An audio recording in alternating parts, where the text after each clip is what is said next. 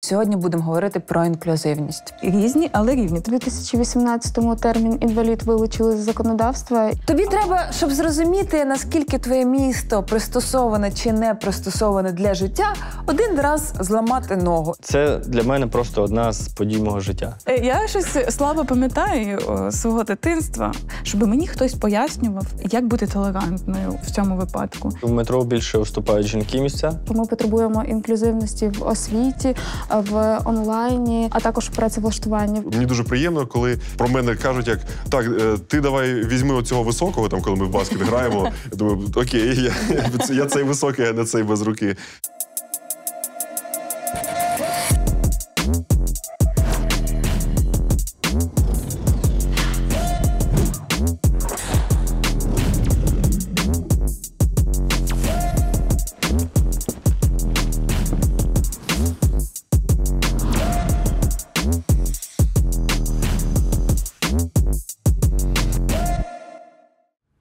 Я Яся, і я вважаю, що інклюзивність має бути нормою, а не боротьбою. Привіт, я Наці, і я вважаю, що інклюзивність має бути не лише в просторі, а й в освіті та у працевлаштуванні.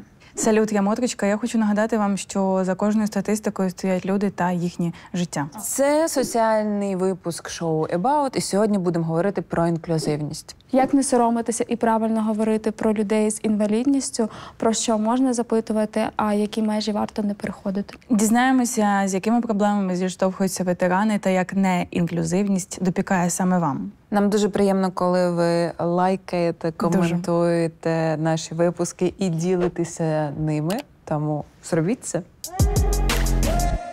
Часто, коли говорять про інклюзивність, спадає відразу на думку інклюзивність в архітектурі і в просторі, але важливо сказати також, що ми потребуємо інклюзивності в освіті, в онлайні, а також в працевлаштуванні. В освіті мається на увазі, наприклад, наявність е, жестової мови. В онлайні мається на увазі доступність інформації для людей з порушенням е, зору, слуху, а також працевлаштування, щоб люди мали можливість працевлаштовуватися і взаємодіяти нормально з світом. За статистикою, у 2023 році лише 20% людей з інвалідністю мають роботу в Україні, в той час як цей показник в ЄС е, майже 55%, тобто набагато більше.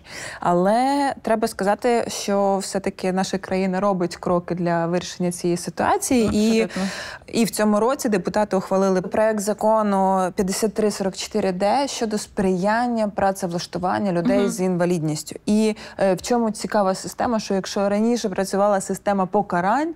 Угу. То зараз має працювати система заохочення роботодавця не винаймати людей е, з інвалідністю. Тобто є такий певний е, мотиваційний механізм. Я я бачила десь дослідження про те, що залучення людей з ментальними особливостями не е, впливає негативно на ефективність роботи в тих чи інших компаніях, які залучають до роботи таких людей. І це теж е, один із е, заохочень, мені здається, має бути для українських компаній, які мають якісь певні острахи або ж е, необізнаність в цій темі. А що дуже хочеться, щоб е, коли приймають людей з інвалідністю на роботу, е, не кічилися цим, Мгм. не подавали як благодійність, тому що люди з інвалідністю так само можуть ефективно працювати. Хочу згадати про громадську організацію Fight for Girl. Вона залучає дівчат з інвалідністю на е, стажування та навчання.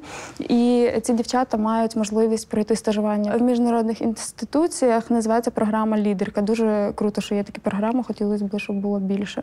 Так, і ми робили допис е, в нашому інстаграмі About про те, е, як е, відбудований, можливо, без дівчат з інвалідністю. Почитайте, будь ласка, дуже цікавий та корисний допис. А ще в Україні є проект індекс корпоративної рівності, який ставить бізнесу 10 питань, щоб перевірити наскільки вони забезпечують інклюзивність. Можна дістати цю анкету і пройтися, власне, перевірити свій бізнес. Хоча я точно зараз розумію, що мій бізнес, на жаль, не є інклюзивним. Ти проходила цей тест? Ні. Я А. хотіла я, я, я хотіла пройти вчора. Е, таке сиділа, читала сценарій. Потім думаю, добре, в моїй компанії троє людей. Е, поки що е, від- відтерміную це е, на, на трішки, поки в нас там ще офісу немає. Знаєш, щоб, щоб потім дізнатися, чи є моя компанія інклюзивною. А чи були в тебе намагання створити свій бізнес більш інклюзивним. Е, Мається на увазі в театрі, чи є місця для людей з інвалідністю, чи А, Я- Думала ти про це? Звичайно, думала. Е, Звичайно, думала. е, І була складність, що коли ми е, будували сцену 6, а знаходиться вона на шостому поверсі. Але до шостого поверху треба було якось е, дістатися і побудувати фізично там відповідний нормам пандус було важко. Але ми зробили пандус для того, щоб оминати пороги, портативний. І кілька разів у нас були глядачі, які користувалися ним, і це давало виявляється, їм вони є, виявляється, їм цікаво театр, їх цікавить музика. Так, і це і це дуже круто, коли е, нам пишуть типу, доброго дня. Я сьогодні прийду, е, я на, на візку буду. І тоді ми швиденько там дістали, поклали Дуже і зустріли дуже людину. прикольно. Це дуже важливо, щоб був- цей доступ. Я пам'ятаю Atlas Weekend, коли люди з інвалідністю мали можливість на рівні з е, іншими насолоджуватись музикою, коли була присутня мова жестів. Ну прям кайф. Дивіться, сфера відпочинку це та сфера, яка займається наданням послуг е, саме безпосередньо людям через їх фізичну присутність. Дуже Так. багато в цій сфері не закрито е, потреб людей з інвалідністю. Е, Я знаю з приводу театрів, ну це мій випадок, да, що ми там варили якийсь пандус, наскільки могли, як незалежний театр, тому що для мене було дуже важливо, щоб люди могли потрапити на вистави. Як Але, наприклад, зараз скажу тобі, але, наприклад, статус національного театру він вимагає. Щоб театр був обладнаний. Те саме про е, кінотеатри, якщо говорити. У 2019 році взагалі в е, Києві вперше відкрився кінотеатр з доступом для людей з інвалідністю. А що це був за кінотеатр? Планети кіно. Цікаво. Я знаєте, один раз дуже зловила себе на такому здивуванні. Я листала TikTok і знайшла там, ну, дивилась типу відео.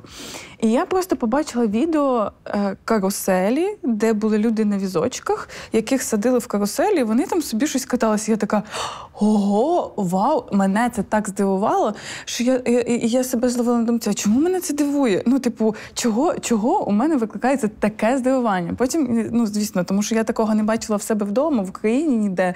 Але це виглядало так прикольно. Тобто там така звичайна е, карусель, і так, і це колісне крісло так пристебується, е, людина пристебується, і воно ну тобто, це е, не виглядає над складнощами. Ну тобто, це не виглядає як щось із космосу. Якщо так по- по-чесному подивитися, це можна зробити, можна облаштувати. Дивись, е, в мене була схожа історія. Я їздила в Лондон на фестиваль, і в нас був один вихідний день. Ми поїхали в передмістя. Ми виходимо на вулицю.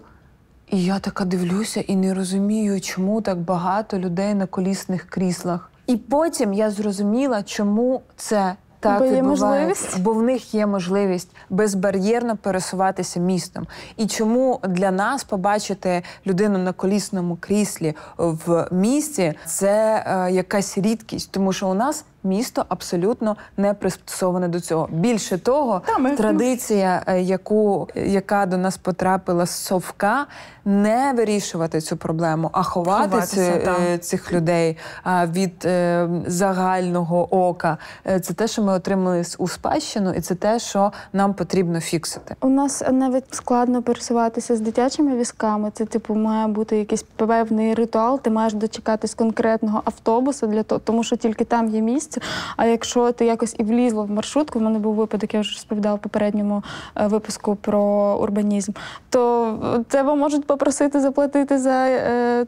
Е, Трьох, бо ти займаєш занадто багато місця в просторі маршрутки. це ж не тільки про е, Так. людей з інвалідністю, Так, це, і про взагалі про склад... е, Ні, не про Ні, складність. ні, ні. Дивіться, Про- інклюзивність це про безбар'єрність Так. всім людям, які можуть бути в певний період життя маломобільними. Мами з візочками, люди на колісних е, кріслах, люди, що е, отримали якусь травму. Тобі Але- треба, щоб зрозуміти, наскільки твоє місто пристосоване чи не пристосоване для життя, один раз зламати ногу, і ти зразу зрозумієш, Так, що так, таке так, інклюзивність. так, Дивіться, е, хочеться наголосити, що окрім звичайних людей, які є людьми з інвалідністю там з дитинства або здобули цю інвалідність зараз, крім мам з візочками, ще дуже широка тема, чому ми маємо зараз добиватися безбар'єрності е, нашого міста, доступу до інформації там в інтернеті і в освіті. Е, це власне ветерани. Які е, часто втрачають кінцівки, Щоб не повторювати дам. і для яких е, це місто е, не дає нормально соціалізуватися. Я хотіла додати про, про совок і як вони власне поступали з ветеранами. Якщо подивитися будь-які фотографії з дня перемоги, особливо там 10-та річниця, 20-та, ну все, що з круглими датами було, ви не побачите на Жодного. цих фотографіях людей в інвалідних кріслах. Чому? Тому що не думали про, про цю потребу, не хотіли змінювати простір. І е, що прийняла е, як рішення для цієї проблеми? А мільйон людей був з інвалідністю після е, Другої світової війни. Вони не вирішили побудувати зручні міста. Вони е, вирішили цих людей ізолювати. Зробити вигляд, і що цих якщо людей не ви існує. хочете про цю тему дізнатися більше, у Акіма Галімова виходив сюжет про Ваалам. Насправді є дуже багато матеріалів на цю тему, і у ВОЗ, е, і 24 канал робив. І Яніна е, Соколова робила м, сюжет. Досить багато.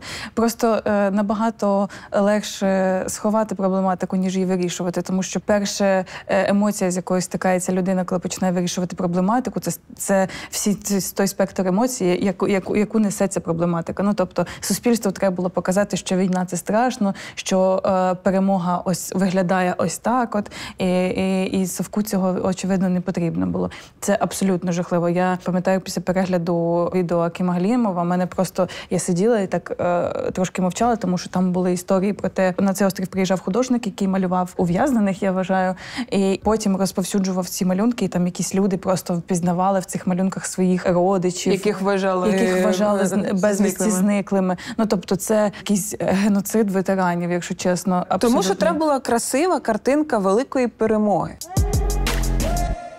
Продовження обговорення того, наскільки наше місто є бар'єрним, е, хочу згадати про твіт військового, який е, сказав: е, бути на візку це приниження, яке я сьогодні дуже сильно відчув, і посміхатися вже якось не дуже хочеться. Він розповідав про те, що він поїхав в спальний район і ледь не вбився.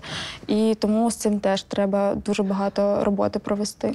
Е, Ми робили експеримент з Дімою Щебетюком, е, його проектом Доступно UA. Знімали його на театральній. Е, Уявна ситуація була така, що я йду на побачення з Дімою, і ми домовилися зустрітися на театральній. Знаєте, скільки часу у Діми зайняло перейти дорогу з одного боку на інший? Я думаю, хвилин 20. 24, по-моєму. В театральний. Е, Ну, типу, театральна В самому біля це- в Хрещатика, самому центрі- центрі міста. Що говорити про периферію? периферію? Для того, щоб виростити толерантне суспільство, я вважаю, що дуже багато має створюватись е, контенту е, з за участі героїв на з інвалідністю. Е, Є приклад Та фільму Вічні Марвел зняв там, де героїка спілкується жестовою мовою, і зробили дослідження, що після перегляду цього фільму зацікавленість до вивчення жестової мови виросла на 250%. Це І- насправді е, дуже класно працює і допомагає, тому що, наприклад, у мого Марка не виникає запитань е, до того, чому скажи, протез ніколи не виникало так. запитань? Ніколи. Ну от прям я намагалась е, згадати якісь ситуації, типу, ну Не виникає він- він- запитань він- щодо чого? Щодо протезів, е, я от нещодавно бачилась з Тереном, і з нами був Марк. Ну і я перед цим сказала. Ви скоро теж побачитесь з Тереном. Терен супер. І, Ну, просто і мені я цікаво, це провела ти? pre-інтерв'ю і сказала, зараз до нас підійде мій друг. Е, Він захищав е, Україну. На жаль, він втратив кінцівки, і зараз він пересувається за допомогою протезів або крісла колісного. І Марк такий: окей, все. Е, Це ще одна тема, крім е, інклюзивності в освіті. Нам е, правда треба навчити людей, як правильно спілкуватися з людьми з інвалідністю, чи як реагувати на людину, у якої там протез, чи немає протезу, чи відсутня кінцівка. І це те, що має війти прямо зараз в програму Та просто для дітей. абсолютно цього І треба для навчати, особливо для дорослих. Тому що якщо дитині можна пояснити один-два рази, і це стане її як частиною частиною її світогляду, то людині, яка виростала на ще радянських якихось упередженнях, а потім виховувала нас з вами теж волею, неволею, але все-таки на цих радянських упередженнях з того чи іншого питання, то це набагато складніше. І мені здається, що в першу чергу е, такі освітні речі мусять дивитися саме дорослі для того, аби розуміти, що це не є якоюсь е, дивиною. Ми мусимо просто прийняти це як частину нашого життя. Все Є друга, є друга. Е, Є один момент.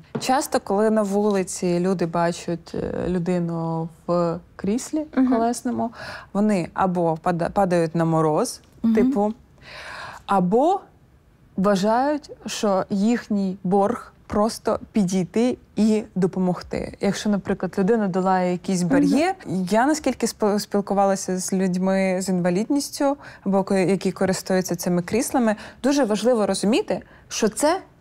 Фактично а, є особистий, особистий простір і як продовження тіла. Ти не можеш без дозволу людини, не запитавши її, хапати, підіймати, штовхати. Якщо ви хочете комусь допомогти, треба в першу чергу запитати людину, а, чи потрібна їй допомога, а потім, якщо вона скаже, що так, а, їй допомагати.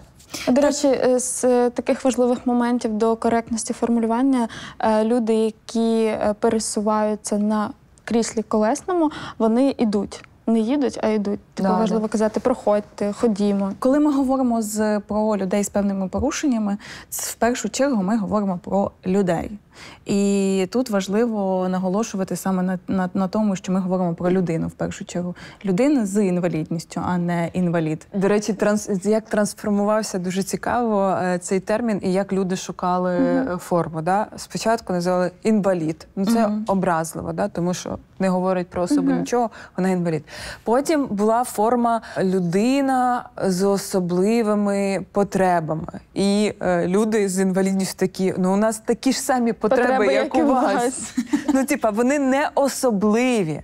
А потім почали шукати в м, сфері е, з можливостями. І такі людина з обмеженими можливостями. Таке ти Чого?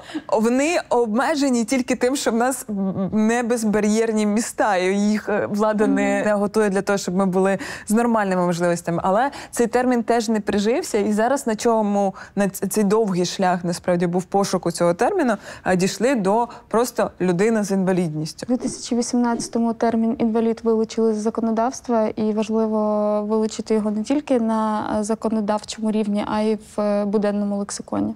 Тому ми принесли словничок. Для того, щоб не помилитися і коректно назвати людину з інвалідністю, ми е, перше, що пам'ятаємо, що перед нами людина. Угу. Тобто, якщо, наприклад, у людини поганий е, слух, Угу. то ми кажемо людина з Порушенням. порушенням слуху або слабочуюча людина. Але не глухий, не, Не німий. німий, не глухонімий. Е, спочатку йде людина, а потім просто про її інвалідність. Або, як люблять сказати, у нас колясочник чи візочник. Візочник менше трохи, але колясочник. Так?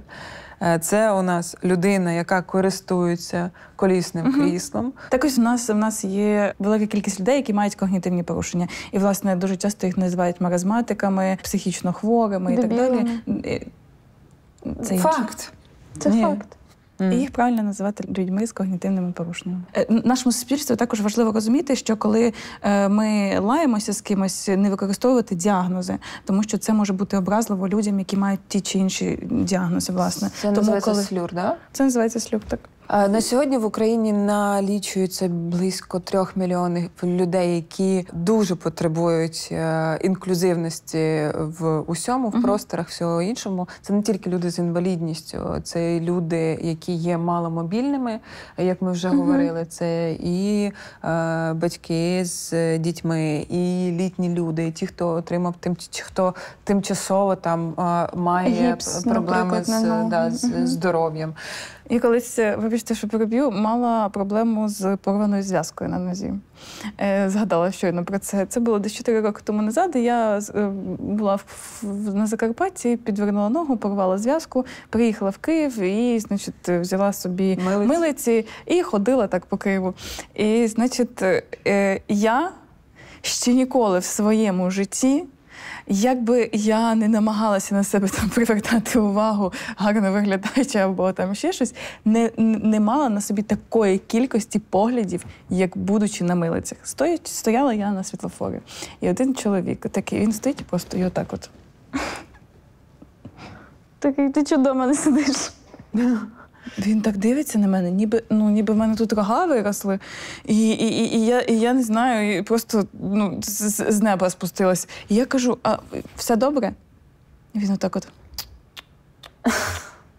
Я думаю, бляха, в мене ж видно, що нога перемотана гіпсом. Ну, типу, що не так? Ну, типу, що в цьому дивного? Я е, дуже обурювалася, пам'ятаю, на цей період в своєму житті, тому що та люди, оце саме основне, чого мені бракувало, це відсутності уваги недоречної від е, людей.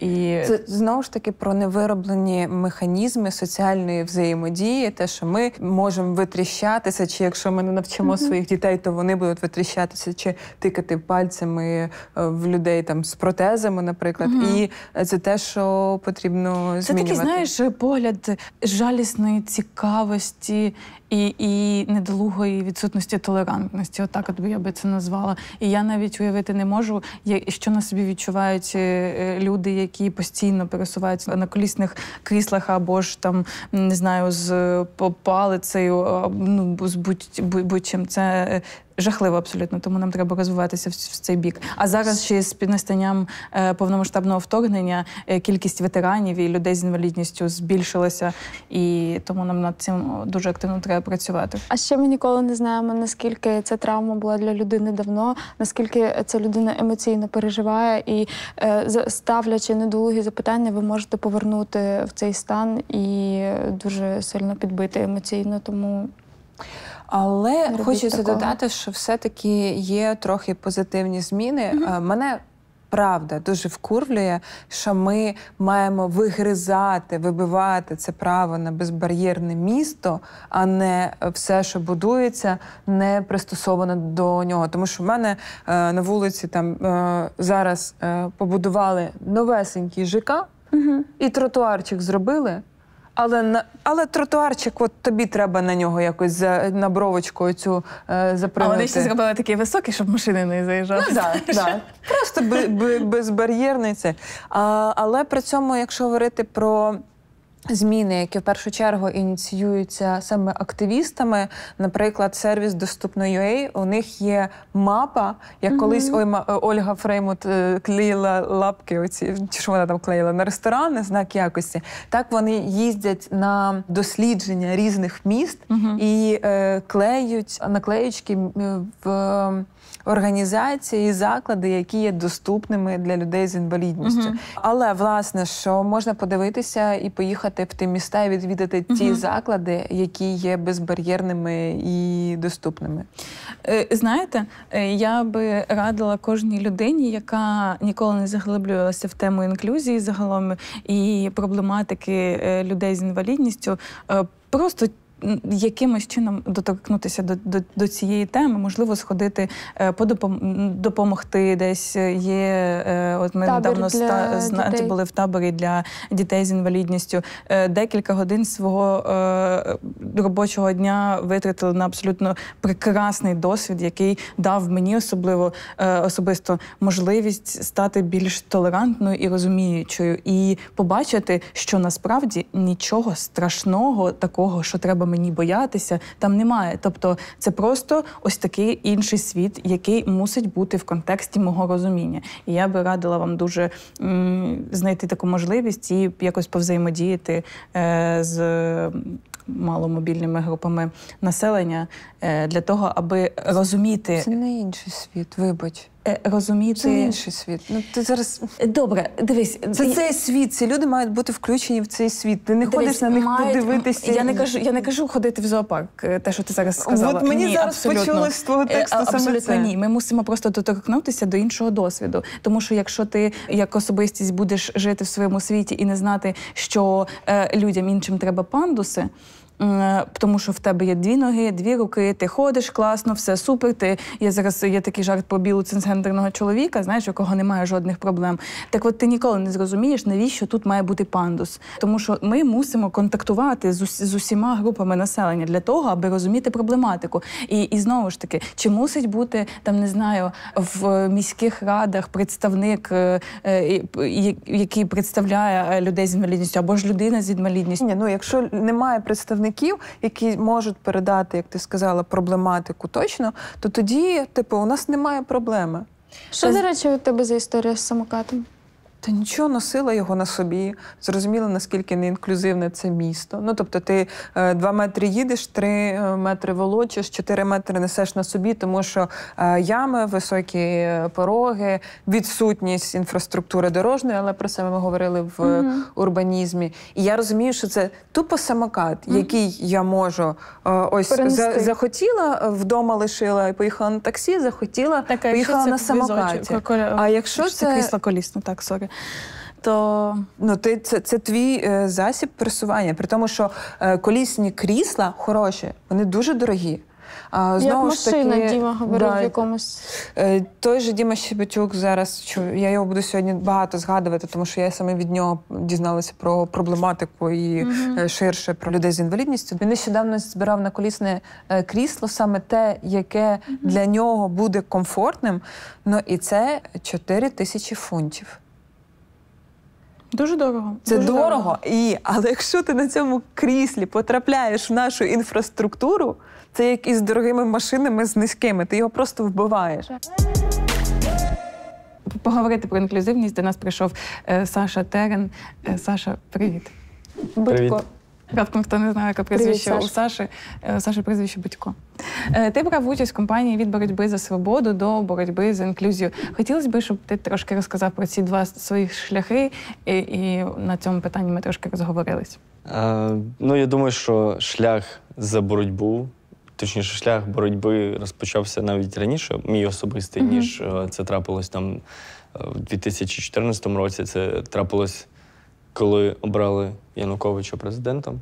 Я думаю, всі пам'ятають що в ці часи достатньо його віку, щоб пам'ятати це. Пам'ятаємо, пам'ятаємо. Ось і вже тоді було зрозуміло, що Україна, точніше, українська влада бере проросійський курс абсолютно тотальний. І я особисто і моє оточення не мирилося з цим і робили все можливе для повалення режиму Януковича.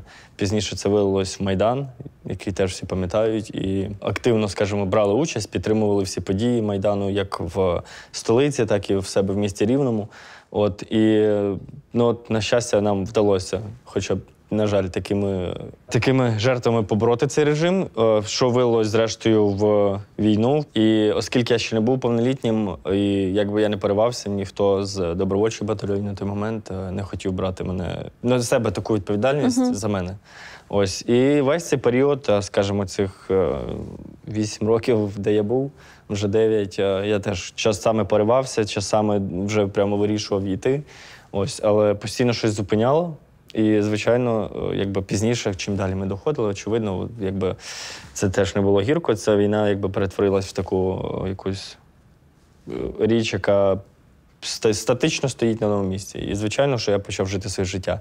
А коли розпочалась уже друга кампанія, ну, скажімо, велика війна, тоді вже не було вибору, не було. Ну, я навіть не замислювався над тим, чи йти, чи ні. Це просто очевидний був вибір ще от якраз тих часів Януковича, що очевидно, що це буде збройний конфлікт, і я буду частиною цього конфлікту. Тому я так і пішов.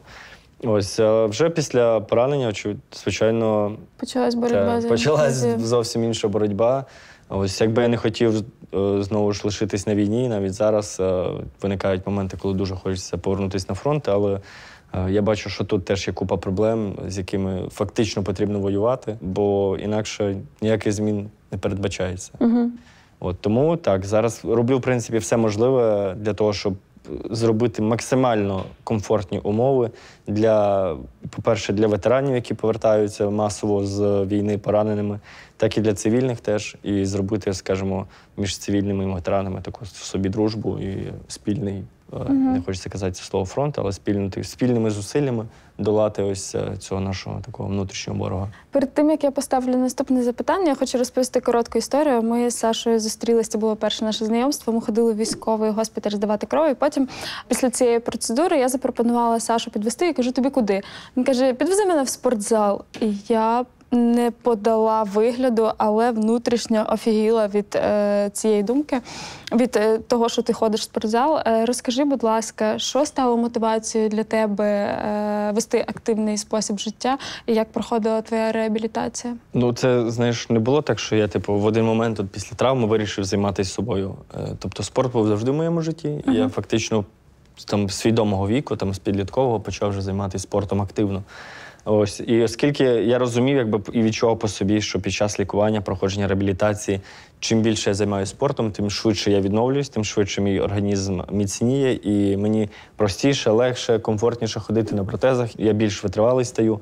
Ось, ну і просто стаю красивішим. Бо я красивий і хочу підтримувати цю красу. І бути здоровим. Це Ну, над- надважливо. А можна, я не знаю, чи наскільки коректно питати, от саме про реабі- реабілітацію, як відбувався процес, це і фізичні заняття, і це встановлення і виготовлення протезів, скільки часу це займає? Да, і напевно, перше, як ти з цим всім змирився? Прийняв.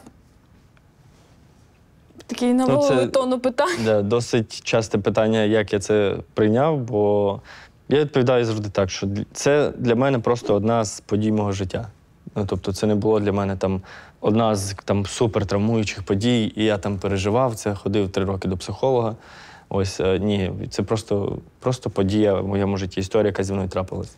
От е, розуміння того, що я без е, ніг, в принципі, прийшло вже момент поранення, коли я лежав там в окопі під землею. І це стало зрозуміло, що така біль е, ну, не, може виклик, бути викликана лише там пораненням легким. І якби я зрозумів, ну, що ну все, типу, якби без ніг. І не було, чесно скажу, що якогось смутку. Єдине, хотілося, щоб перепинився біль. Біль пізніше припинився через місяці, два-три. Ось, ну і все. Якби фактично я просто пірнув вже в таке життя активне, і не було часу думати, роздумувати про те, як же складно жити, що мені буде робити. Так, саме найперше було дуже складно розуміти, чим я буду займатися, бо оскільки я лежав ще без протезів і не розумів, де їх взяти, інформації ніякої немає. І тоді я підгруз. Насправді це було тільки десь півтора місяці після поранення. Я ще був в госпіталі київському не розумів дійсно навіть де я буду ставити протези. Ось і така була біль моя внутрішня. Це е, де я буду працювати. Ну оскільки я розумію, що до війська я не повернусь, потрібно заробляти собі на життя. А в такому стані це робити значно складніше. Ось і я почав шукати різні шляхи. Тоді я е, тільки формувався. Скажімо так, Superhumans, я написав для Олі, типу, що я от в такій ситуації, і мені було б цікаво з вами працювати. Ну, оскільки вже тоді вони там заявляли свої якісь е, тези і бажання. От. Ну і все, з тих пір ми почали з нею комунікувати, дружити навіть і до цих пір ми дружимо. Правда, вже не працюємо, точніше, не працювали і не працюємо разом. Ось, але це такий надію дало, що я не покинутий, що я можу знайти собі роботу. Ось, а пізніше, вже коли виготовили протези, це через три місяці майже я став вже на, на ноги. Тобто, от, е, ну і все. І такий вже випадком долі, напевно, так сталося, що почались якісь е, різні проекти, пропозиції, і, скажімо так, е, життя, яке я планував собі, відійшло на задній план, з'явилось нове життя, е, те життя, яке я маю зараз, і сижу ось з вами. Ти в якомусь пості писав, що найважче було сказати батькам, як вони, до речі, сприйняли це. Ось батьки дійсно це така болюча тема, бо я навіть ходжу, ну, коли в госпіталь приходжу до хлопців. Це така проблема не тільки моя, а всіх. Самому сприйняти це значно простіше, ну бо ти вже це сприйняв, якби воно вже сталося, ти вже розумієш, що з тобою відбувається. А донести це своїм рідним, е, ну це прям. От це дійсно це єдиний момент, коли було там боляче, скажімо так, це сказати. І е, я просто там приміряю, якби там цю ситуацію. Там мене брат просто теж служить, там, наприклад, на брата. Якби я віднісся, то я, я думаю, що віднісся абсолютно так само, як мої батьки. Їм було досить складно. Вони десь, напевно, ну місяць, я не знаю, три, напевно. Переварювали це все, проживали це все, намагались зрозуміти мене і як їм жити. Тато в мене ще більш емоційний, тому мама в мене якось так стійкіша, вона більш так ну, підійшла мудро, тобто вона розуміла мій стан і транслювала його теж. А тато то так е, поник трохи, і йому складніше було. Він теж в Афганістані просто служив поранення, теж в нього є. Він так, напевно, більше розуміє, як це відбувається трохи. Ось, і ну, було складно. Ще е, треба, щоб ветерани своїм батькам це самі казали, тому що я дивилася сьогодні зранку твоє інтерв'ю і знаю, що твоя мама про це дізналася з Фейсбуку. І я думаю, що це. Ну, поки я був на операції, е, запостили. Я як мама хочу дати причухана.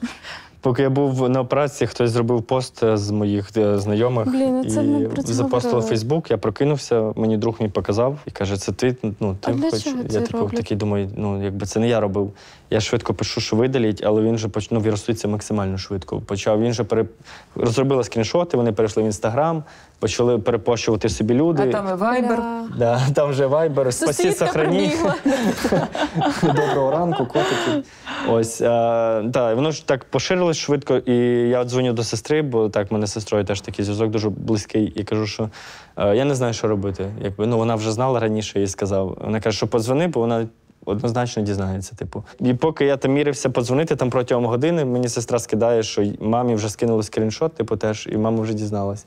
Я такий, блін, ну все, типу, дзвоню, якби. Ну, ясно, що я не знав, як сказати. Знову ж там таке заминка була, довга пауза. От е, сльози, мама в сльозах. Ну, коротше, таке, типу, не дуже приємно, але е, головну інформацію доніс. Скажи, будь ласка, таку штуку. Я, наприклад, коли е, бачу людей е, з шрамом на щитовиці, я така, я бачу своїх. Коли ти е, бачиш е, людину з протезами або людину з відсутною кін- кінцівкою, які, що, що вас об'єднує? Які, бі, які болі от точно незалежності від обставин, де ви отримали там чи поранення, чи що вас об'єднує от з цією людиною? Які болі найсильніші зараз саме в українському суспільстві е, для тебе?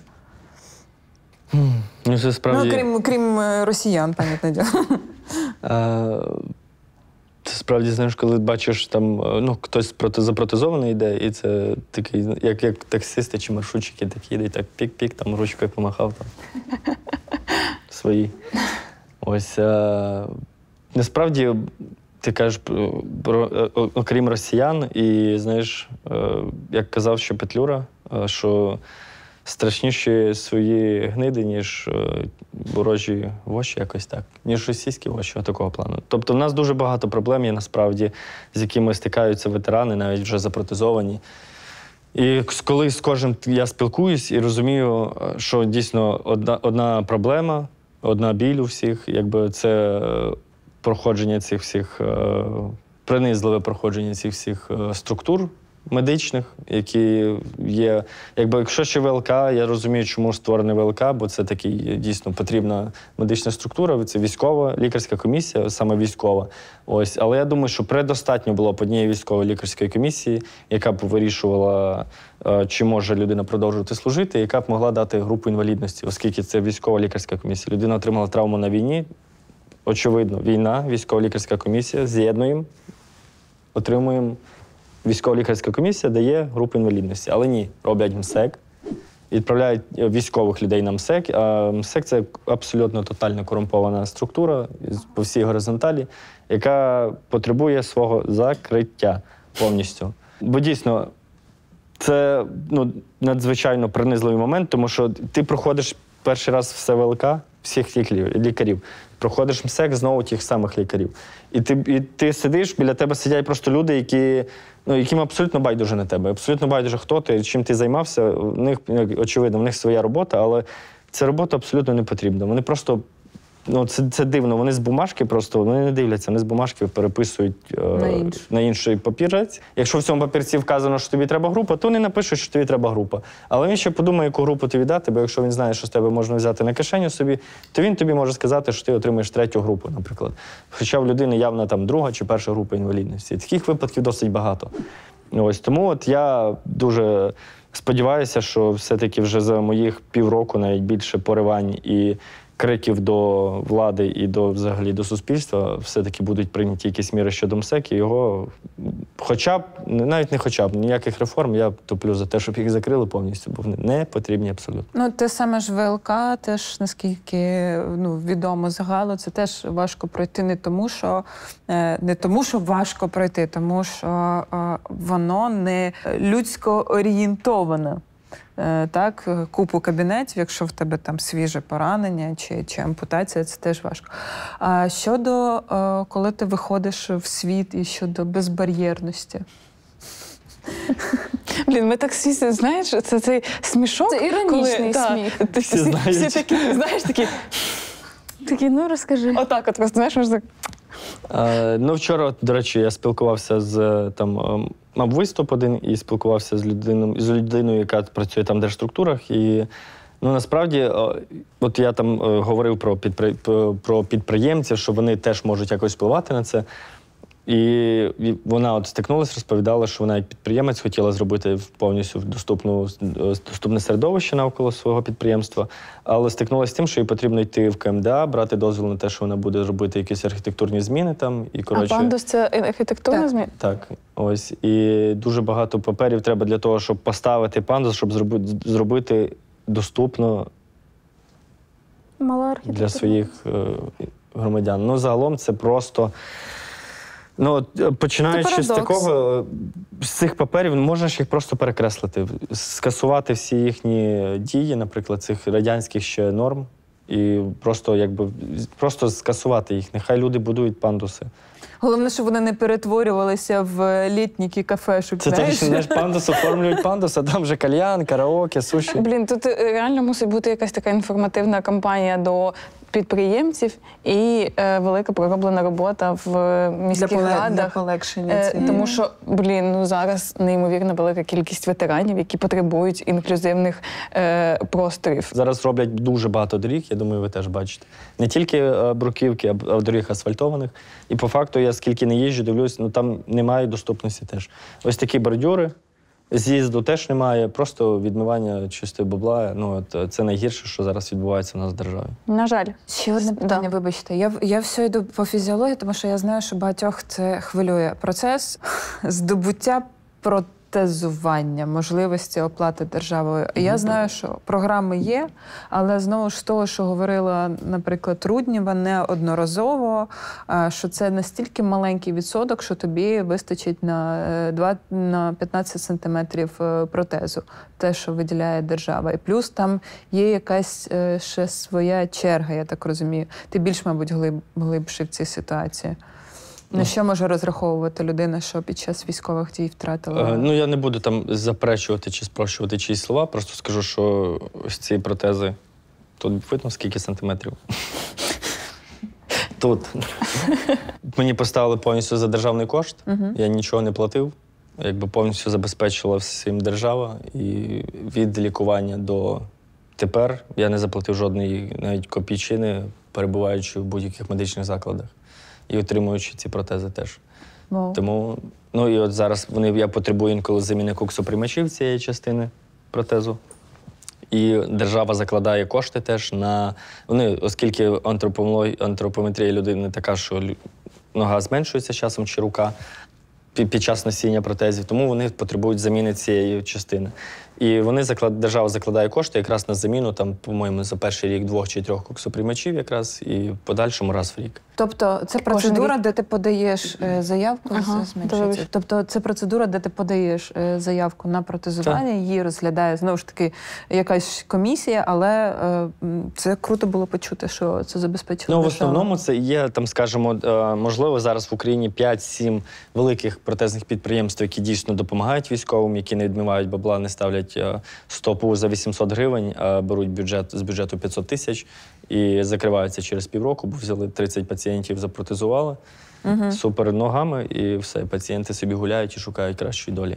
Ось е, тому так, є великі підприємства, ти приходиш. Зазвичай вони всім займаються самі. Я приходжу, от мене, от як, як було і в мене, прийшов Андрій Вчеренко, директор без обмежень, до мене в госпіталь, коли я був поникший і не знав, що мені робити, як жити, е, де я буду ставити протези, і каже: Ти не турбуйся, ти заживеш, прийдеш до нас, ми тобі ноги поставимо, просто забудь за цю проблему, в тебе рахуй, вже ноги є.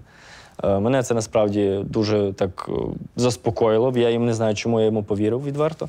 І дійсно, я через півтора місяця вже був е, у Львові тому цей час на реабілітації. В них теж є там філія.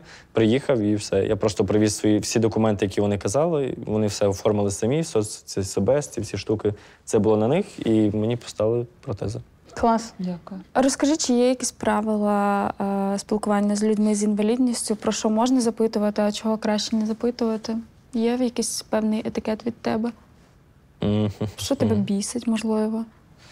Знаючи, як, як Саша ставиться до цього, то ми не туди прийшли з тими питаннями. Ну так, відверто кажучи, в мене немає таких речей, що мене аж таки дратує. Е, хоча інколи, знаєте, пишуть або запитують такі тупі якісь запитання. От було теж питання. Це було смішне питання. Що змінилось у вас е, в сексуальному житті? Типу, я такий думаю, А що змінилось? що змінилося? Я думаю, що змінилося? Ну, стало, може, не так зручно стояти. Добре. Неможливо майже. Добре. От. Що ще? Ну, просто я став мен- менше ростом. І А- зріст змінився. А, о, Можна до речі, е, я хотіла запитати е, про Можна. е, протези роблять та під як вони вираховують ріст, який має бути? Чи це можна? Тобто, Ну, вони дзвонять зазвичай в е, базу НАТО в Штати, там є секретні матеріали, як розрахувати людський зріст до протезів. А пізніше тебе просто запитують, який тебе зріст був, і ставлять той, який тебе був. Ти можеш сказати, у мене був метр вісімдесят, я хочу метр вісімдесят п'ять. наприклад, Можна? звісно, і, і Я ти можу хоп, і став метр дев'яносто. Або метр п'ятдесят. Метр п'ятдесят. Прикольно, це прикольно. Це Я- як під- Можна підібрати, знаєш, коли йдеш на побачення з кимось такий чикс там. мгм. Ти де висока, Там- а а, там можеш взяти підбори. Я сьогодні підкручу трішки, щоб так з усім було. Е. Слухай, але все одно, якщо серйозно, якщо говорити про коректність, е, коректно питати, як ти втратив е, ноги. Чи Е. знову ж таки це залежить від е, тому, в якому моральному стані знаходиться людина зараз? Тобто, грубо кажучи, якщо е, в- до тебе тоді в госпіталь прийшли, і в тебе ще не було оцього обнадійливого Саша, е, Мгм. будуть протези, мабуть, це було б некоректно. Чи є якісь може універсальні штуки для, ну, для поради для людей, які не знають, як спілкуватися?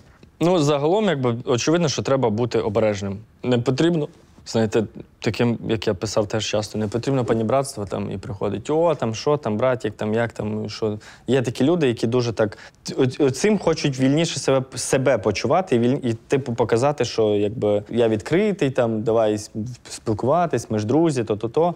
І там, да я там був десь ТРО там на початку, теж. Я починають там... травити свої історії. Да, да, да. Там, а що там? Я мав би піти теж воювати, але там в мене сім, сім курей, дев'ять коней, і типу, це все хазяйство, там троє, троє дітей за кордоном, все дивитися, це треба.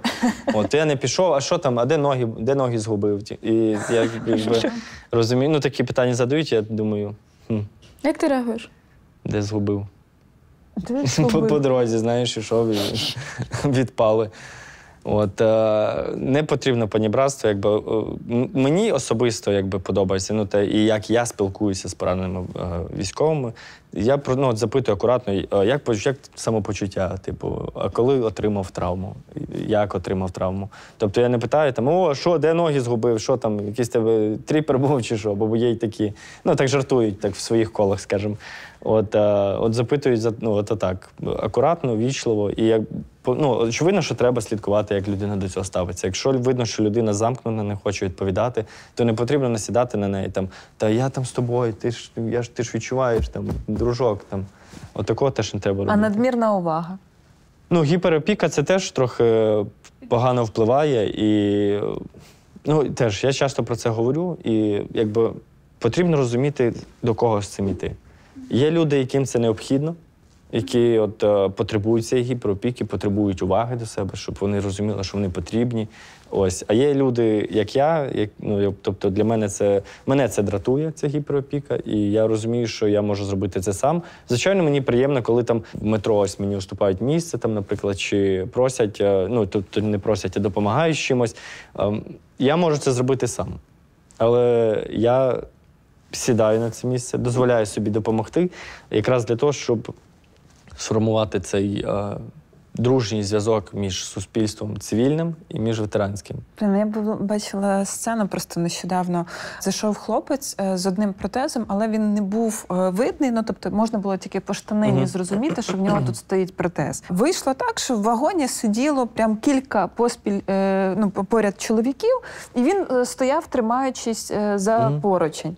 І сидить мужик. Ну, виходить, що в нього на рівні очей він бачить, що хлопець з протезом, і він так сидить, дивиться, і такий оп, а він ще в кепочці, і такий оп, і типу голову опустив, що наче, ну, наче й не бачить. Ну тобто питання, що можна запропонувати, сказати, чи хотіли б ви сісти. Да? Може, ти відмовишся, може ні. Але оце ховання очей мене так дратує. Мені здається, що наразі е, є дуже багато речей, які дратують, але ми, якщо є можливість і ресурс пояснити, то треба це робити. Тому що ми попередньо ще обговорювали, що ця тема максимально табуйована, і ми знаходимося в такій якійсь своїй бульбашці, коли кажемо про е, те, що ми нам всім окей, ми там дивно не дивимося, ми не, не, не задаємо тупих питань, і все інше. Але ну, типу, на жаль, в нашому суспільстві це абсолютно не так.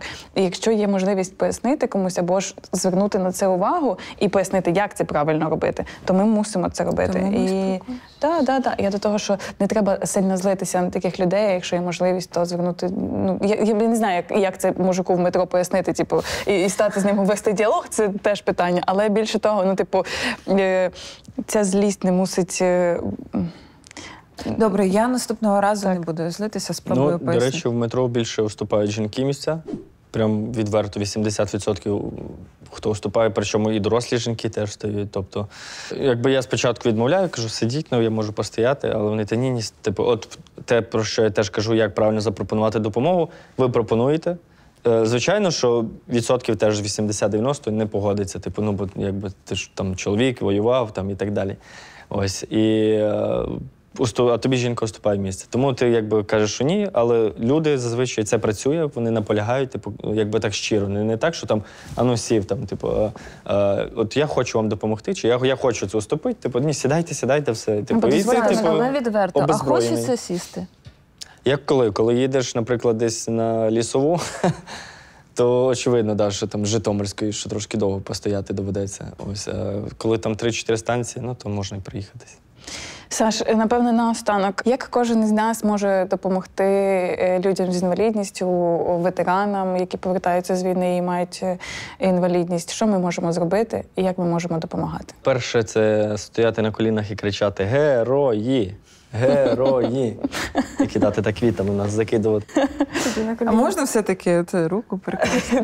Ні, ні, ніяких рук, тільки на колінах. Добре, добре, записали, так що ще. А, та, насправді це жарти, це я іронізую, тому що теж трохи е, воно. Я проти такої масової героїзації військових, тим паче поранених ветеранів. Я прихильник героїзувати тих людей, які продовжують боротьбу, ніж тих, які опинились тут, як я. Ось. Н- н- Бачу, немає відчуття провини, що ти зараз не на фронті взагалі. Угу. А де ти Не, була? не, не Де ти була 9 років? У мене В все Бельгії. тільки півтори. Як ми можемо допомагати? Давай, окрім, окрім вдячності якоїсь е, словесної і е, Теж про це говорив, і теж хочу сказати і тут зараз. Е, суспільство і цивільні не хочеться зобов'язувати когось, але мали б робити ту роботу, яку вони зараз покладають на роботу військових теж. Бо теж вони такі наративи там звучать вже знову. Ось прийдуть військові, і знову цих всіх депутатів. Військові як прийдуть, наженуть. порядок Да, наведуть. да. Отак. І, типу, замість того, щоб робити зараз середовище комфортне для повернення ветеранів цивільним, вони покладають цю ж е, місію на цих же ж військових. Тобто, ну, це якби військові мають все зробити. І там, ну, це, це для мене, мене мені це дивно. І хотілося б, щоб е, суспільство знову ж, якби це там не звучало банально, було більш е, об'єднане і працювало як на перемогу, так і на створення ось цього адекватного. е, Зручного Простору. простору. Простору так. для адекватного військових. простору для військових. І це стосується не лише там е, якихось там моментів, е, що залежить від себе десь подякувати, допомогти. Це стосується моментів як законодавчих, так і на місцевих рівнях. Е, зміни так, так само ось в ці е, норми ДБН, зміни в нормах ДБН. Ось і е, кожен може від себе вимагати, ну і від себе, і від влади вимагати якихось змін. Ось ці всі петиції насправді вони показує, практика працюють, і тому це не повинні створювати військові петицію про те, щоб е, змінили норму ДБН, чи про те, щоб дозволили робити пандуси. Це повинні ініціювати цивільні для того, щоб. е, Ну, якби було комфортно для всіх. В кожного є абсолютно, я впевнений, в кожного є кум, брат, сват, друг, рідний, хтось, хто служить. І найгірше буде, якщо хтось із них опиниться в такій самій ситуації. І, довод- і тоді, тільки тоді люди починають думати про те, наскільки складно е, цим людям жити. Дуже тобі дякую. Ми мусимо бути частиною громадянського суспільства і турбуватися про те, як виглядає е, наше сьогодення і як буде виглядати наше завтра. Саш, дякую. Дякую за запрошення. Пам'ятаєш, е, на Village була стаття про незрячого хлопця, який е, перевіряв е, Київ Місто, місто. Угу. Да, ми дуже багато зосереджені на тому, наскільки складно живеться маломобільним людям, але також е, людям з порушенням зору е, теж значно складно. І, до речі, в Києві є музей, який руйнує стереотипи про людей з порушенням зору. Е, рекомендую сходити. Три після опівночі називається. Блядь, Це просто верх лицемірства. Рекомендую сходити. Сама не була ніколи. Це вставимо в ЧБ. Будь ласка. Слухайте, а я, ще я теж не була, але хотілося б сходити. Це нормально чогось не знати. Ми теж багато чого не знаємо. Слухайте, а ще. е, Якщо говорити про комплексну інклюзивність, Так. та, не тільки про безбар'єрність міста, тому що це ну, перше, на чому ми концентруємося, пасувало би, наприклад, якщо ви робите новий сайт. Якщо ви робите новий сайт, можна поставити плагіни, Так. які будуть допомагати ним користуватися людям з порушенням е, зору. Це все зараз е, можливо. Звичайно, є е, хотілося б, щоб у, у всіх була можливість робити переклади там шоу е, мовою жестів. Угу.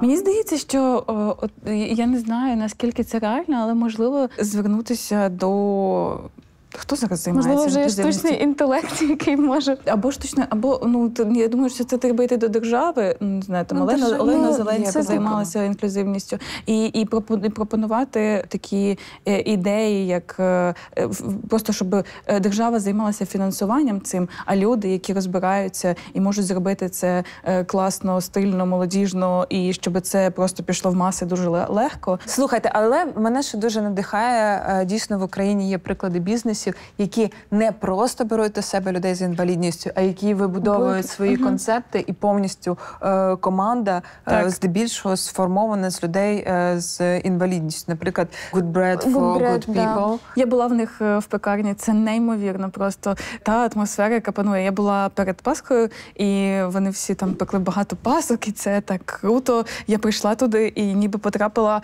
на звичайну пекарню, де працюють абсолютно звичайні люди, які жартують між і собою. які печуть дуже смачний Які- хліб. Я комплі- їла цей хліб, і це був один з найсмачніших в моєму Абсолютно. житті. Реально Коли заходить мова про хліб, навіть загораються очі. з маслом. Ще у мене сьогодні має прийти худак, але м, я перед війною отримала худак від е, Фрікі. Е, Це теж компанія, е, бренд, який наймає людей з інвалідністю. Він в мене пройшов типу, всі підвали. Я зараз замовила новий, тому що це не просто про те, що ти підтримуєш бізнес, який підтримує людей з інвалідністю. Це реально про якість. Так, я ще хотіла сказати декілька слів про освіту, і можливо, Наті, ти стикалася і чи помічала ти там в школах, в яких вчився Марк, е, певну безбар'єрність умовно для дітей з інвалідністю, тому що е, ми мусимо ще як суспільство розуміти, що е, люди і діти з інвалідністю вони мусять бути не відокремлені, десь там має бути школа для дітей з інвалідністю, вся підготовлена отак. От а ми маємо просто жити як одне ціле суспільство, і в усіх школах школах мають бути безбар'єрність, мають бути там не знаю е, книги з великими е, яскравими картинками, з шрифтом Брайля, і щоб будь-яка звичайна школа підходила всім абсолютно людям. Я не помічала такого в школах Марка, але, до речі, е, щойно згадала, говорячи про те, чому Марк достатньо толерантний і в нього не виникає питань. Я думаю, що відповідь ще лежить в тому, що коли він навчався в садку, в нього в групі був хлопчик з синдромом Дауна. І ну мені здається, наявність е, дітей з синдромом Дауна е, просто в е, групах е, з іншими дітьми. Е, Це дуже круто розвиває толерантність в дітях, і вони розуміють, що діти є різні і з різними особливостями. Як ва? Е, Це що діти просто є різні, і це нормально. Це теж некоректно звучить. Я Блін, я можна перестати боятися так сильно. Це нормально, що ми робимо помилки. Ми вчимося так, м- ми самі розвиваємося і намагаємося ставати більш толерантними. Дивись, це, це абсолютно нормально. Я би хотіла, щоб ну, типу, не Да, можна ну, типу, показувати. Ми не ідеальні, ми, ми не сидимо такі, типу, Зачекайте, тут да, ми такі, як і ви, і ми теж е, поміняємося. Просто е, я щось слабо пам'ятаю свого дитинства, мама і тато, меседж вам, щоб мені хтось пояснював. е, Як бути толерантною в цьому, в цьому випадку? Як звертатися до людей з інвалідністю? Чи треба звертатися? Як ну мені ніхто мені цього не пояснював. На жаль, і я не думаю, що мої батьки мають якісь упередження з цього приводу. Я впевнена, що вони не мають жодних знань з цього приводу. Так, але все одно, навіть якщо тобі не пояснювали, мені теж не пояснювали, а, то все одно людей а, з інвалідністю ми ва- вважалися вони якимись іншими. Ми не знали, як до них ставитись, але от були ось ми, а ось Десь інші люди. Це правда І- інші, але ми маємо бути рівні. Різні, але рівні, точніше. Це нормально. Має бути вкорінена база в нашій голові, що це все, ми всі однакові в плані прав і можливостей маємо бути. От і все.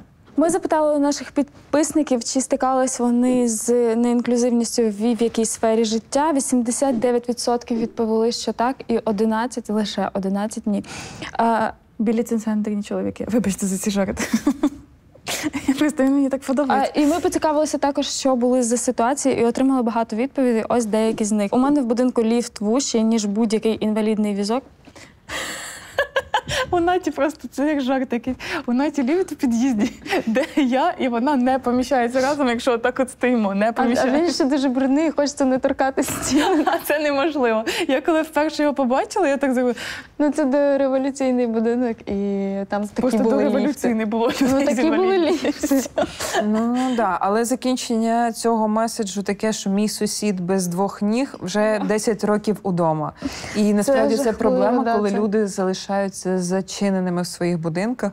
Е, Зараз особливо, коли блекаут, відключення Так. електроенергії. Якщо в тебе є ліфт. Тобі повезло, що в тебе є ліфт. Не факт, що він буде працю- працювати, і таким чином людина не може е, вийти і там купити продукти, ще ще ще щось. Та, тому, якщо ви знаєте, що у вас є, є сусіди Маломобільні. з маломобільні сусіди і відсутність безбар'єрного простору, а, запитайте у них, чи можливо їм потрібна допомога і як ви можете бути їм корисними. Я маю надзвичайно слабкий зір. У цьому випадку не інклюзивність всюди. Від цінників у магазинах до презентації викладачів в університеті дрібним шрифтом. Деколи пекуче боляче від цього. I feel you. В мене теж поганий зір, і е, мені не дуже добре живеться з цим. А в підземний перехід з дитячим візком не спустишся. Доводиться нести на руках. Блін, я колись піднімалась. Е, з візком, з продуктами і з п'ятимісячним марком на восьмий поверх. Як вам таке? Тому що ліфт ламався і ніхто не планував. А як його зараз, от дивіться, лагодити. блекаут, да? Є пожежна. е, А візочки залишають внизу. Е, ну, це якщо є можливість е, з охороною під'їзду. О, охорона якщо під'їзду. Охорона під'їзду. От, от там от в Чешки на цьому. Просто на Тараса Я просто така згадала навіть свій під'їзд. Ну да, в нас там внизу стоїть е, візочок е, дитячий. Обурило, що на початку вторгнення військовий госпіталь не мав жодного пандуса. Блін, історії е, військових, які приходять е, в ВЛК, це просто окремий... Радянського Союзу, так. Інститут травматології. Блін, Сходіть на третій поверх, зробіть рентген. Пам'ятаєте? Інститут травматології, понімаєш? Е, Масін, е, Масін Наєм прийшов е, по якусь довідку, і його відправили по маску, коротше, фіг знає куди. І він такий, ви, блін, знущаєтесь. І Я, мене міна не взяла. А ви хочете, щоб мене коронавірус взяв? Він каже, якби я був без кінцівок, то я би підірвався прямо там під кабінетом, тому що це таке знущання. О Боже, да, це дуже складна тема, і насправді і військові себе відчувають дуже принизливо. і бюрократичні кола, яких змушують військових е, е, ганяти, а особливо якщо в тебе, наприклад, немає якоїсь кінцівки, і абсолютно непристосованість е, лікарняних е, закладів. Це супер жесть. Знову ж таки, як радила Мотрічка, щоб зрозуміти глибше, е, просто сходіть в військовий госпіталь чи в будь-який е, інститут травматології. Згадала ситуацію. Колись я зламала. Це не порівняння, якщо що, просто що я. Я зламала палець великий на нозі. І вночі поїхала в 12-ту лікарню, це там на Печерської. Приходжу в травматологію, і вони мені кажуть, так, от, ну, ніч була. І вони такі, ой, ну це ж було давно.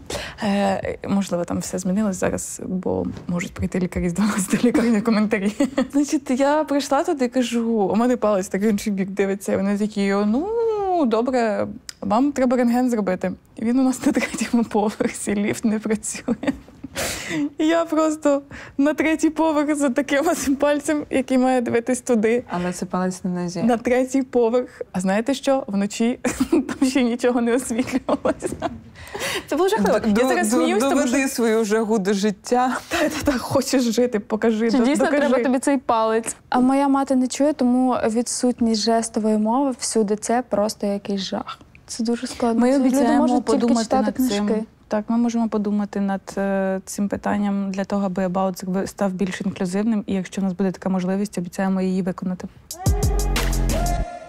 Ми продовжуємо розмову про інклюзивність е, в компанії Влада Хільченка, засновника, автора каналу Однієї прави. Привіт. Привіт. Е, Дякую, що ти прийшов до нас. Е, Розкажи, будь ласка, як ти відновлювався після аварії? Можна розбити це на дві частини. Перше, це фізично. Мені доволі пощастило, що я був плюс-мінус спортивним хлопаком. У мене був якийсь м'язовий корсет, тому це допомогло мені якось більше до- втриматись докупи. І за буквально місяць після травми я вже плюс-мінус ну, так.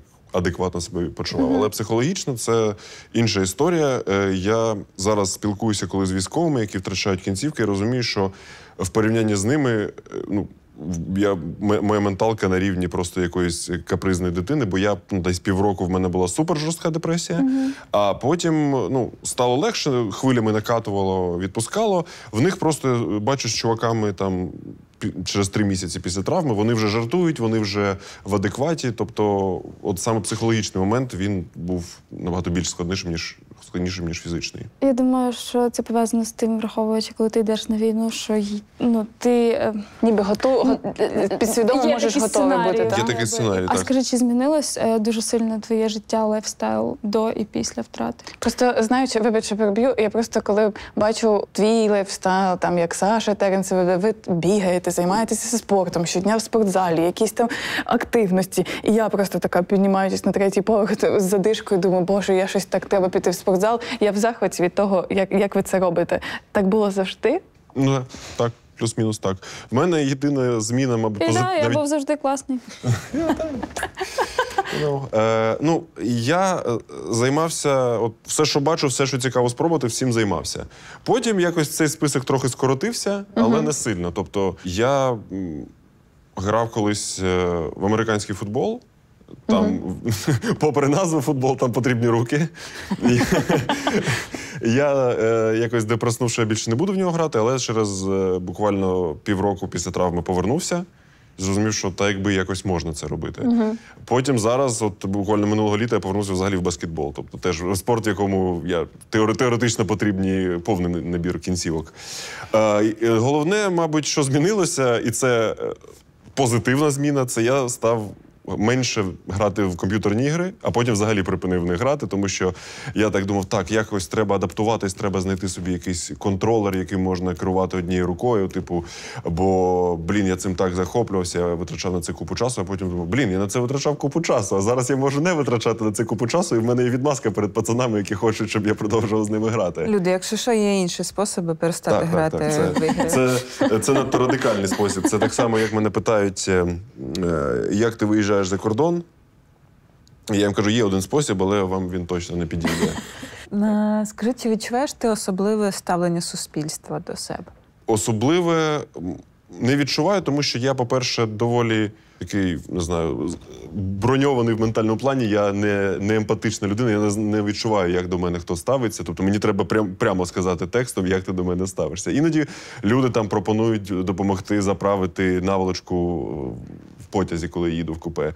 Діти, дуже сильно діти, вони звертають на це увагу. Вони такі, прям проходиш повз них, вони прям задивляються, такі там смикають маму, мама, мама, дивись. Тебе це бісить? Е, спочатку бісило, зараз я ну, не звертаю на це уваги, розумію, що таке діти, що таке, е, ну, як, як вони е, мислять. Ну, більше став розуміти, що як вони мислять, для них це незвичайно, для них це не природньо, не те, чому, чому їх вчили батьки. Е, Я іноді просто люблю з ними отак от грати в зоровий контакт, хто перший відвернеться. Е, Зазвичай вони програють. Хорошо. От такий от домінант. В нас зараз особливо зараз, взагалі, як я розумію, це більш звична для людей картина. Тобто, коли е, в 16-му році в мене це сталося, там було таке трохи людям більш в диковинку це було. Зараз, на жаль, це більш е, розповсюджена ситуація, тому взагалі ніяких немає людей. е, А як часто тебе питають, що трапилося, і чи дратує тебе? Частіше, ніж хотілося б. Ну, е, е, зазвичай люди це питають в інтернеті. Тобто, наживо до мене ніхто не підходить і не питає. Тільки коли там вже познайомились з людиною, якийсь час поспілкувалися, там вже хоча б годинку ми там один одного впізнали, там промацали вайб, і він такий там якось обережно може, чи може поцікавитись, мені просто справді, справді е, хотілося б розуміти це. Я відповідаю. Коли це просто якийсь е, лівий З ноги. чувак з інтернету, просто вривається там або в коментарі, або в Директ. е, А що таке?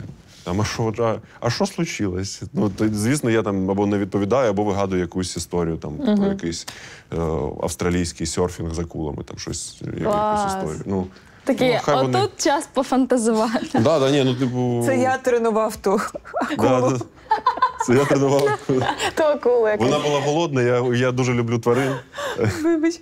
Е, Скажи, будь ласка, ти думав е, про протезування? Чи це твій вибір не протезувати руку, чи це пов'язано з чимось іншим? Це пов'язано з чимось іншим. Е, ну, Зараз е, Влад придумає тобі історію. Так, так, так. Зараз е, продумаю щось пов'язане з тваринним світом. Ні, дивись, е, е, коли я коли в мене це сталося, в державі не було жодних якихось програм з нормального протезування. Те, що вони пропонували, це якась була повна лажа. Е, мені там е, друзі з команди, знайомі там зробили якусь кампанію зі збору грошей на лікування, на відновлення, і думали вони, що на протезування. Але е, ті протези, які зараз ставлять військовим, вони стартують там від 50 тисяч доларів. Так, в мене були якісь свої збереження, щось зібрали. Більшість цих грошей пішла на оплату всіх лікарняних процедур, і щось там якісь гроші залишилися. Мама в мене вирішила брати ситуацію у свої руки. Там знайшла якогось місцевого протезиста, який зробив. Трохи краще, ніж пропонує держава, якийсь чисто косметичний протез, нефункціональний, з яким я походив рівно один день. Це було там щось, не знаю, три тисячі доларів, чи ну коротше, якісь декілька тисяч доларів, які просто я один раз одягнув, сказав, угу, м-м. Я це не мій фасончик, поклав і десь він в шафі лежить поруч із старими куртками. І був конкретний, прямо от в лоба вибір е, взяти всі свої збереження, взяти там якісь ці залишки після лікування. І витратити їх на протез, або не витратити їх на протез. Я вирішив, що звісивши всі за і проти, вирішив, що. А зараз ну теж люди приходять, кажуть, а що ти там не впишешся? От там центр Superhumans, там ще якийсь центр. Я кажу, чуваки, ви трохи не, ем, ви не розрізняєте людину, яка втратила руку, займаючись якимись своїми справами, умовно, навіть е, в результаті нещасного випадку, і людина, яка втратила кінцівку, захищаючи е, нашу країну. Це, типу, дві невеличкі різниці, які треба розуміти. На твою думку, Україна сильно відрізняється від інших е, країн з питань інклюзії? Таке питання Е, риторичне. Так, знову ж таки, як я і казав, що я доволі броньована людина в плані відчуття якоїсь емпатії, якщо мені напряму щось не кажуть. Можу точно сказати, що в плані інфраструктури інклюзивної в нас все дуже сумно поки що, але це потроху покращується. Ну, от такий от прям яскравий приклад: це в нас е, ліфт на станції метро. Це така там досягнення, що ми поставили сюди ліфт. Тепер це інклюзивна станція метро. Тепер тут люди з Але візками. таких, по-моєму, чотири. Да, десь кін- кінцеві, які по- Які відкрили. новіші, да, да? ну, Ну, от десь у вас в Києві так. Я просто я, ну, я знаю, що це прямо от позначає, що от у нас є ось такі інклюзивні станції. А І от ти такий доїхав на хрещатик, а вийти не можеш. Клас. Ні, може ж там Блін, треба всі викликати е, працівників Спеціальних, спеціальних. А наприклад, в Європі дуже часто таке є, що навпаки, вони оголошують, що вибачте, ця станція не є доступною для людей на вілчер, на квізках. Тому що для них це норма, що кожна станція має бути доступна для кожної людини. В них там всі стадіони, всі там е, майданчики, концертні тощо, тощо, вони е, якось, але є облаштованими під людей. Насправді, з моїм типом е, недокомплектації особливих якихось вимог до просторів, до, до інклюзивності простору немає. Тобто я адекватно себе всюди почуваю. Знову ж таки, є такі дрібні побутові по- проблеми, типу наволочку складніше мені одягти в купе. Е, Там на другу полицю не завжди я дуже спритно так застрибую, але це все, ну я вважаю, що це мої проблеми, які цілком здатні рішати. От тому я не можу якось напряму це А скажи, Соломоне, тому що легше затягувати шнурки? Ну, зав'язування шнурків це теж, знаєш, в мого е, друга бабуся сказала колись ще в дитинстві одну фразу, яка в мене досі в голові живе і не платить за оренду. Це е, Я вкраду цю фразу. Е, Окей, е, срати захочеш, та не знімеш. Тобто, е, якщо тобі щось треба, ти до цього адаптуєшся. Е, якщо в тебе є якась потреба, ну, якщо в тебе є якесь бажання займатися чимось, то якось ти можеш адаптуватися. Це ну, моя особиста позиція з цього приводу. Якось так. Тобто шнурки це все життєве. Як ти почав вести свій Ютуб е, і подорожувати? Е, Подорожувати я просто завжди подорожував ще за часів роботи в ІТ. Потім я почав знімати там якісь відоси для себе. Потім я вирішив, що треба спробувати зробити щось більш прикольного, більш е, розмовного формату. Півроку десь я вчився, як. Це взагалі довга історія, але я максимально намагаюся скоротити. Це я півроку десь вчився, як монтувати більші відео, не просто там під якусь музичку е, відоси з GoPro, а прям щось таке більш інформативне. Вчився, як озвучувати. Моє перше відео, яке я зробив на YouTube, я взагалі е, не відстрілював, як це робиться. Я е, розмовляв не з того боку мікрофона. Я думав, що за лажа, чому він так погано звучить? В мене на телефоні динамік звучить е, краще. Потім щось в мене вдалося випустити перших два відео, які раптово одразу там стрільнули на там 50 тисяч, щось таке. Тобто Людям сподобалось, тому що це було про гори, це було щось незвичне, тому що зазвичай це або якісь е, подорожі про подорожі, про якісь поїздки, або якісь от такі відоси про катання в горах, просто під музику, якась нарізка, як ви класно санкаєтесь, падаєте в сніг. А тут я вирішив розповісти про це донести людям, що це, це дві, е, дві сторони однієї тієї самої медалі. Що це і подорож, і, і гори, і катання. Це людям сподобалося. Я продовжив це робити і паралельно працювати в ІТ. Потім стався ковід, і е, наш проєкт в ІТ е, дуже сильно скоротили. І я так подумав, я стою зараз на роздоріжжі, мені або йти шукати якусь нову роботу, або спробувати зробити стрибок віри і е, працювати ютубером. Стрибок віри. Стрибок віри. Ну слухай, коли в тебе є. просто кладеться е, Ну, е, цікавих фраз. Е, Це ну калька з англійської leap of faith. Типу, коли ти починаєш для якесь зовсім нове для зовсім нову для себе справу, спочатку в мінус, а потім якось намагаєшся. Ну тому що це справді ти такий думаєш, окей, в мене є якісь запаси по грошах. Якщо я півроку, скажімо, в мінус пропрацюю на Ютубі нічого з того не вийде, я їх витрачу і повернусь в айтішечку. От е, це так, от, от така була е, авантюра. Послання на канал ми залишимо, або ви можете самі нагуглити. Де- Ти ж робиш все сам, я правильно розумію? Так, все сам однією правою. Ми подорожували разом, їздили в подорожі з тобою, і е, коли спускалися з гори, е, я розказала е, тобі, як представила тебе Наті після нашої першої зустрічі. Я коли тебе побачила, почула, що в тебе дуже дикторський голос, такий прям трошки акторський. І коли прийшла до Наті, бо вона не була на цьому обіді, я сказала: блін, а вона питає, хто там був, хто кого не було. Кажу, там був такий хлопець, який дуже мав е, гарний дикторський голос. І коли тобі це розказувала, ти, е, е, ти сказав, що це дуже приємно, коли люди помічають відразу не, не твою відсутність твоєї кінцівки, а щось інше, що в тобі. Можливо, є якісь ще речі, які тобі приємно, щоб люди не знаю, не те, щоб помічали, а те, щоб робили, аби не виділяти тебе як тільки людину з відсутністю лівої руки. Ну, дивись, так. Я дійсно мені дуже приємно, коли про мене кажуть, як так, е, ти давай візьми оцього високого, там, коли ми в баскет граємо. Я думаю, окей, я, я цей високий, а не цей без руки. Там або цей чувак з вусами, або цей чувак з голосом. Це дійсно прикольно, коли в людей це головний там якийсь як, якар, а не е, ця особливість. Але з іншого боку. Я розумію, що це мені не неприємно, якщо от реферить як чувак однорукий там або як, як завгодно.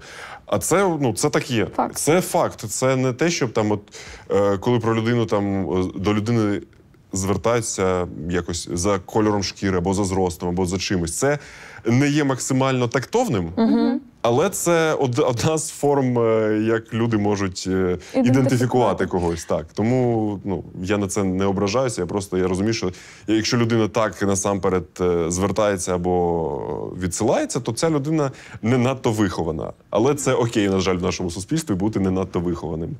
А чи помічаєш ти, е, що суспільство з роками стає більш толерантним? Е, По-перше, я спочатку почув е, питання, як чи відчуваєш ти, що люди, люди з руками стають більш толерантними. Думаю, ну так, є такий момент. Окей. Щодо питання, як я і казав, дійсно, що через повномасштабне вторгнення, через, на жаль, збільшено зараз кількість людей, які отримують подібні травми, для людей це стає більш нормалізованим. Вони не е, там намагаються одразу там дивитись з розплющеними очима, там е, щось в лоба питати, або «А, а, що таке. Тому це не знаю, як це сказати. Не, не позитивний момент точно, але зміна певна в цьому напрямку була. Е, Щодо ставлення у різних країнах до людей з інклюзивністю, я особливо це відчув, е, коли був у Туреччині колись, і у Еміратах ще давним-давно, десь давно це було в 20-му році. Вже здавалося, минуле життя. Там вони можуть просто тебе, побачивши в черзі, просто висмикнути з черги, пустити там на якийсь vip прохід, якщо ти стоїш в черзі до якогось музею. Я так, наприклад, на Бурж-Каліфу стояв. І мене побачили, просто реально беруть, кажуть: пліз, пліз, сер, VIP. Я такий, та ні, я норм... звичайний пацан, не треба мені VIP. А вони такі, ну, ну, ну, пліз, там ну, такі всі ввічливі. Те саме в Туреччині. Тобто в них це якось. Е, Не знаю за рахунок чого, але якось мож- можливо е, з вихованням їх е, не змушують, а вчать тому, щоб ставитись з більшою повагою до людей з якимись проблемами. Це з одного боку я не люблю виділятись, тобто ну я постою і постою. Я, Але з іншого боку, VIP, знаєш, ну, Да, VIP на бурж каліфу не кожного дня буває. Але от я ж кажу, це така дивна особливість на Ближньому Сході, що от є така, така історія. цікаво, цікаво. Дуже дякую тобі, Влад. Клас, Настя, дякую. дуже дякую тобі Вам за дуже дякую. свій- те, що поділився своїм досвідом і прийшов до нас, приїхав з іншого міста. Дякую вам. Ми всі різні, але за конституцією маємо рівні права і можливості. Е, Дуже прикро, що сьогодні в нашій країні ми маємо вигризати право на безбар'єрність і акцентувати так багато уваги на те, що в нас є велика кількість людей, які потребують е, доступного міста, доступної освіти, доступного контенту. Але тільки разом з вами, якщо ми будемо об'єднуватися, ця ситуація може покращитися. Ми сподіваємося, що саме цей випуск зможе привернути вашу увагу до проблем людей з інвалідністю, і ви разом з нами долучитеся до боротьби за інклюзивність. Ставтеся з повагою до всіх людей, адже ніхто не хоче, щоб їх жаліли чи зневажали. І обов'язково говоріть про це зі своїми дітьми. І з батьками. І з сусідами. І з місцевими депутатами. і з Займайтесь ЖЕКом. самоосвітою. До речі, ЖЕКом, до речі, ЖЕКом. до речі, подавати заявку в ЖЕК на встановлення пандусу е, теж можливо, якщо у вас його немає е, біля будинку. Це, це обов'язково має бути атрибутом, щоб Тому що якщо е, місцева влада щось для вас не робить, це не привід сидіти і мовчати. Вона зробить. Треба просто натиснути.